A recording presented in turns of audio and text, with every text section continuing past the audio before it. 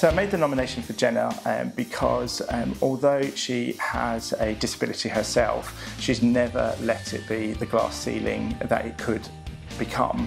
Um, she has continuously looked to be proactive in helping not only herself but then so many other people across the trust that have either cochlear um, implants or hearing aids to work through a whole range of different uh, devices, whether it be stethoscopes through to modified um, safety helmets for road traffic collisions.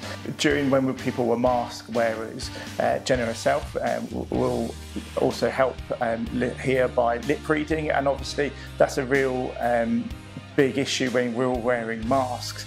Um, and what she um, did was help to promote a small token, a small badge that she helped to create with the trust to help people understand that she lip reads or people with hearing, hearing disabilities may need to have a slight adaptation to how they would communicate. Um, and uh, she did that uh, in discreetly um, but succinctly, but also really, it's a really great effect for people that have um, a hearing disability.